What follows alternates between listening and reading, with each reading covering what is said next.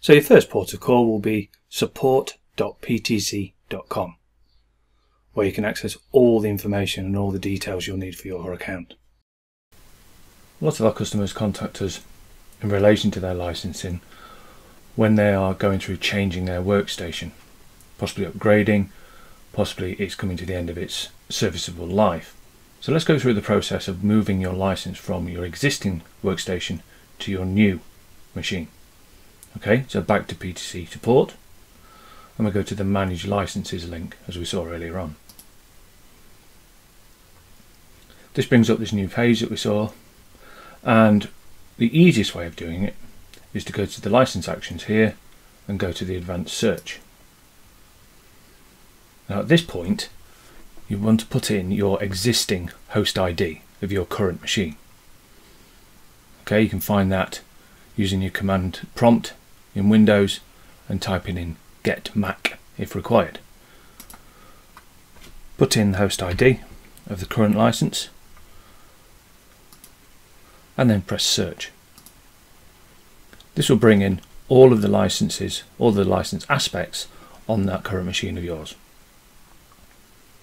Scrolling down, you can see here all the product descriptions with the product label there, the support end date, etc.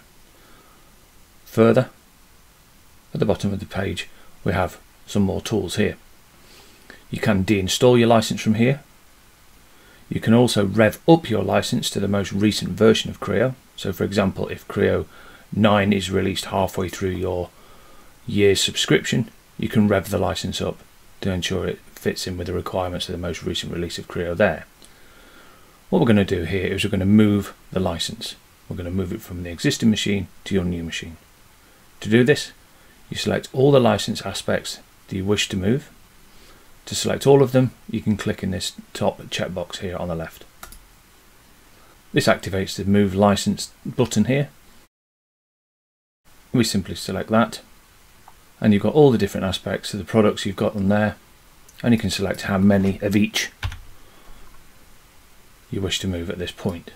Okay, in most likelihoods it's going to be all of them realistically. Once you've done that you can then put in your new host ID the host name,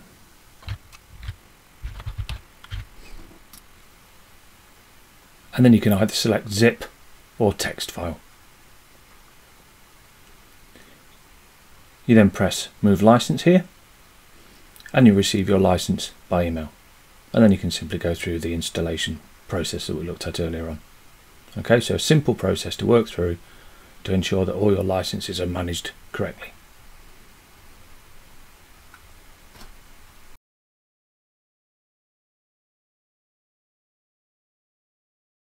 Now, as you've seen, managing your Creo licenses and software is a relatively straightforward process and really is something that can be managed and administered fairly easily.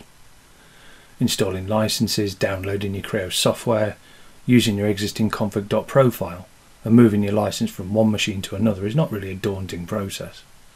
However, if we think back to the start of the webinar, there are of course some questions that need to be answered before you make any major changes. As I mentioned, Creo is not backwards compatible, so always ensure that any team members, other affected parties such as teams on other sites, contractors or suppliers are aware that you're planning to make the change. Creo 8 can of course open Creo 4 files, for example, but not the other way around. More modern versions of Creo and the more complex and sophisticated features and functionality naturally require equally competent hardware, for example running a simulation, creating generative design, or handling complex lattice structures do necessitate a computer with high-level graphics card capabilities, plenty of RAM, and an up-to-date operating system in the background.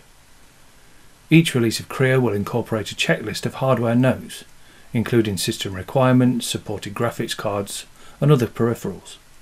If you have any questions about these, don't hesitate to get in touch with us.